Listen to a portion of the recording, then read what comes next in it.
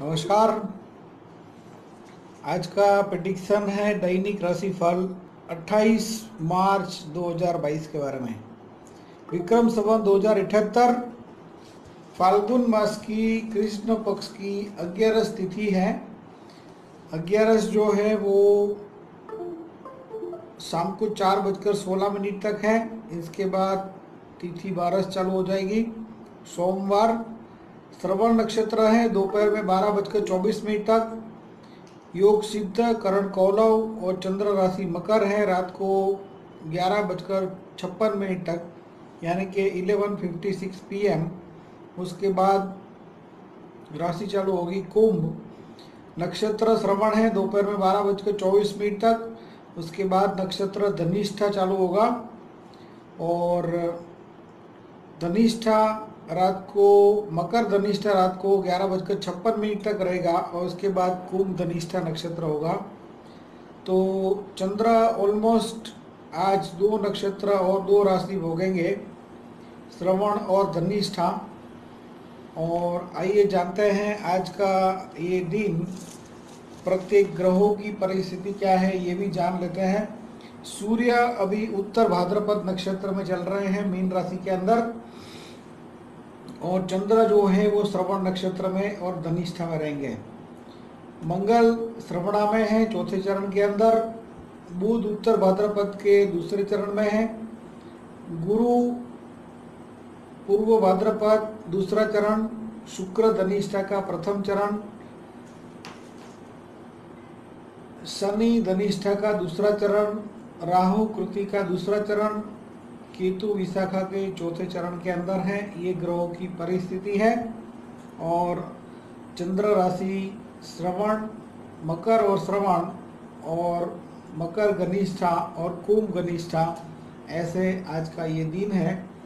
तो श्रवण नक्षत्र के बारे में और धनिष्ठा के बारे में बात करेंगे और मन स्थिति जो है, डेली का जो प्रडिक्शन है रोज बरोज का प्रडिक्शन है इसमें चंद्र ग्रह का बहुत प्राधान्य है, क्योंकि चंद्र फास्ट मूवमेंट करने वाले ग्रह हैं। सबसे ज़्यादा स्पीडी प्लेनेट जो है, वो चंद्र है। जैसे हमारा माइंड भी बहुत विचलित होता है, बहुत फास्ट चलता है। कभी हम खुश होते हैं, कभी दुखी होते हैं, और एक दिन के अंदर हमको कितनी बार माइंड का चढ़ाव उतार होता रहता है। तो it's all due to effect of mind and due to effect of moon तो चंद्र ग्रह का फल प्रडिक्शन इसलिए बहुत इम्पोर्टेंट है फ्रेंड्स और श्रवण नक्षत्र और धनिष्ठा का ये ट्रांजिट आइए जानते हैं, आज के दिन के अंदर पहले तो सबसे पहले बात करेंगे लव रिलेशनशिप के बारे में. तो सूर्य उत्तर भाद्रपद और चंद्र श्रवणा और धनिष्ठा.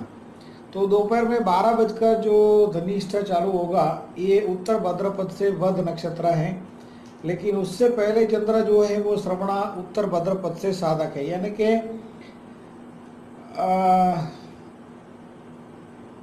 जो आपके फीमेल पार्टनर है तो वो आपके लिए सक्सेस जोन के अंदर है, दोपहर में साढ़े बारह बजे तक। उसके बाद चंद्र वध नक्षत्र में होंगे तो आपके लिए थोड़ा सा टेंशन क्रिएट करने वाले भी बन सकते हैं। तो लव रिलेशनशिप में थोड़ा केयरफुल रहना होगा और नक्षत्र, श्रवण और धनिष्ठा का जो ट्रांजिट है, मेष राशि वाले जातकों के लिए आज चंद्र दसवें स्थान के अंदर रहेंगे और अश्विनी वाले जातकों के लिए श्रवणा क्षैम तारा है, धनिष्ठा प्रत्यरी है, और लेकिन भरणी वाले जातक आज कुछ अनकंफर्टेबल महसूस करेंगे क्योंकि श्रवणा विपत नक्षत्र है, और जो धनिष्ठा है वो शत्रु योनि है। तो कुंभ राशि में भी सॉरी कृतिका नक्षत्र में जिनका जन्म हुआ है, ये जातकों के लिए भी जो श्रवणा है, ये शत्रु योनि है, और धनिष्ठा विपत नक्षत्र है तो ओवरऑल चंद्र भले दसवें स्थान के अंदर हैं।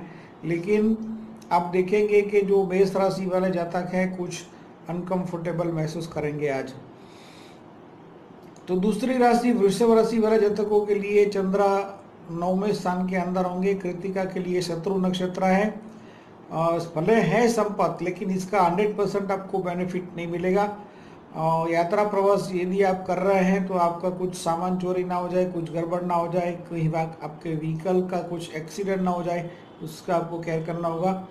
कृतिका में जिनका जन्म हुआ है, वृषभ कृतिका वृषभ रोहिणी के लिए ये जन्म तारा है तो मध्यम फल रही है। वृषभ मृग सीरा के लिए ये अतिमित्र नक्षत्र है तो आप सबके लिए शुभ फल देने वाला होगा। श्रवणा का ट्रांजिट और धनिष्ठा आपका जन्म तारा है। तो आपके लिए भी ये शुभ फल देने वाले होंगे। मिथुन राशि वाले जातक आज अनकंफर्टेबल महसूस करेंगे। क्यों? क्योंकि चंद्र आठवें स्थान के अंदर होंगे। मकर के चंद्र रात को ऑलरेडी ग्यारह बजकर छप्पन यानी कि रात को पूरा दिन आप समझ लो कि मकर राशि ही होगी। तो चंद्र आठवें स्थान में है तो ये अनकम्फर्ट जोन है। धनिष्ठा के लिए फिर भी अति मित्र और जन्म तारा है नक्षत्र बल लेकिन आद्रा वाले जातक सुबह में ज़्यादा अनकंफर्टेबल महसूस करेंगे। दोपहर में साढ़े बारह बजे तक, क्योंकि जो श्रवणा है, वो आपका शत्रु नक्षत्र है और धनिष्ठा जन्म जो है, वो अति मित्र नक्षत्र है। तो दोपहर में साढ़े बारह बजे के बाद आगरा वाले जातक थोड़ा सा कंफर्ट जोन में रहेंगे। लेकिन लाइफ का कोई भी इम्पोर्टेंट डिसीज़न लेने का आता है, मिथुन राशि वाले तमाम जातकों को आज के दिन में नहीं लेना चाहिए। पुनर्वसु में जिनका जन्म हुआ है, मिथुन राशि के अंदर, ये जातकों के लिए चंद्र आज जो श्रवणा का ट्रांजिट है, ये वध नक्षत्र है, लेकिन धनिष्ठ चालू होने के बाद, दोपहर में साढ़े बारह बजे के बाद आप थोड़ा सा कंफर्ट जोन में रहेंगे। कर्क राशि वाले जातकों के लिए चंद्र सेवंथ हाउस के अंदर होंगे तो पुनर्वसु के लिए जो ट्रांजिट है, ये दोपहर में साढ़े बारह बजे तक ठीक नहीं है, लेकिन उसके बाद ठीक ठीक बोल सकते हैं, मित्र नक्षत्र है। पुष्य वाला जातकों के लिए एकदम अनकम्फर्ट जोन है, क्योंकि आज का नक्षत्र श्रवणा आपका शत्रु है और धनिष्ठा आपका वध नक्षत्र है।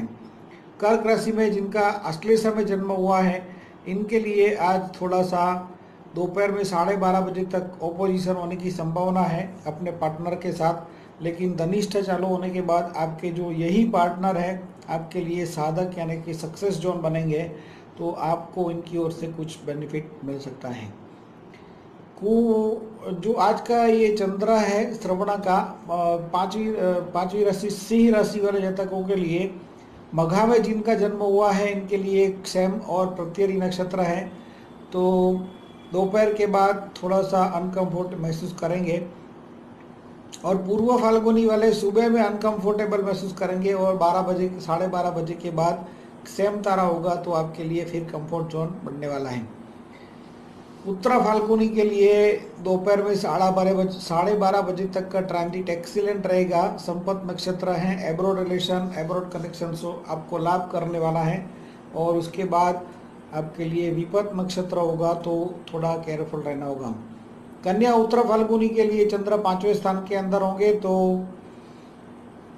सुबह के टाइम में आप जब तक श्रवणा में चंद्र है, साढ़े बारह बजे तक आपको कुछ लाभ मिल सकता है, लेकिन उसके बाद यदि आप सैर सट्टा गैम्बलिंग करते हैं तो आपको कुछ लॉस आ सकता है। कन्या हस्त के लिए आज का दिन एक्सीलेंट रहने वाला है, क्योंकि आज आपका संपत नक्षत्र होगा। कन्या चित्रा के लिए जन्म तारा है तो जन्म तारा भी हमेशा कंफर्ट जोन देता है कंफर्टेबिलिटी बढ़ाता है।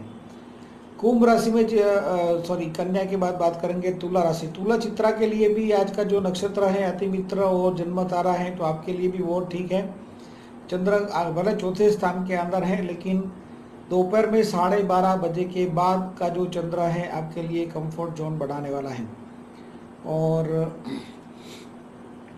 बात करेंगे तुला स्वाति के लिए, श्रवणा का ट्रांजिट आपके लिए मित्र नक्षत्र तो ज़रूर है।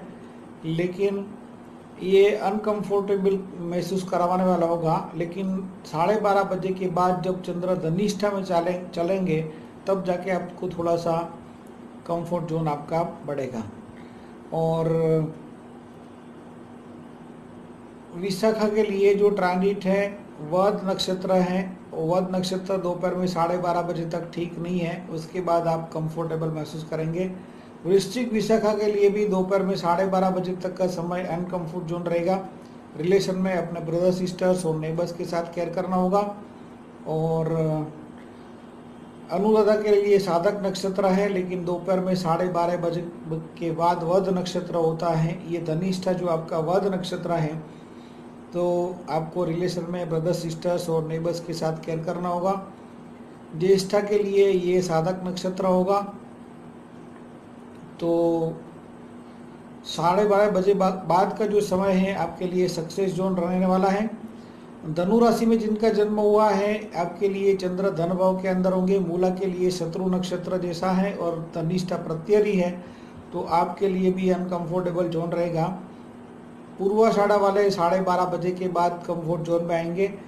उत्तराषाढ़ में जिनका जन्म हुआ है, इनके लिए साढ़े बारह बजे तक का समय शुभ है, लेकिन उसके बाद विपत नक्षत्र होगा। पारिवारिक मामलों में फाइनेंशियल मैटर में केयर करना होगा वाणी में सहम बरतना होगा, खास करके कुटुंब के अंदर। कुंभ राशि के लिए चंद्र बारहवें स्थान के अंदर होंगे तो बारहवें स्थान में चंद्र का फल ठीक नहीं है माइंड का वाइब्रेंसी बढ़ाने वाले होंगे। ऐसी परिस्थिति में आपको लाइफ का कोई भी इंपॉर्टेंट डिसीज़न तमाम कुंभ राशि वाले जातकों को नहीं लेना चाहिए। नक्षत्र आ जाते मित्र और जन्म तारा है, धनिष्ठा वाले जातकों के लिए तो थोड़ा सा कंफर्ट जोन बढ़ने वाला है। शत विषा के लिए ये मित्र और अति मित्र नक्षत्र बनेंगे।